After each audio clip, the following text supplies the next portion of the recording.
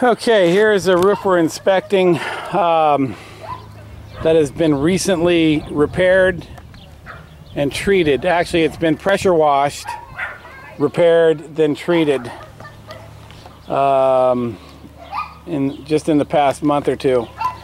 Now, that that's a good process that that can be uh, can be done with uh, shake roofs. Now, it, a lot of it's depending on the age of the wood. Uh, a lot of the shake roofs out here now are getting up to the age to where they're you really have to weigh out the cost benefit and the savings versus you know how long the roof's actually going to last. So in this case, it's right on the borderline, but it's probably going to be fine for the next three to five years. Uh, this company uses metal shims. We typically use wood shims. You can see the shims there.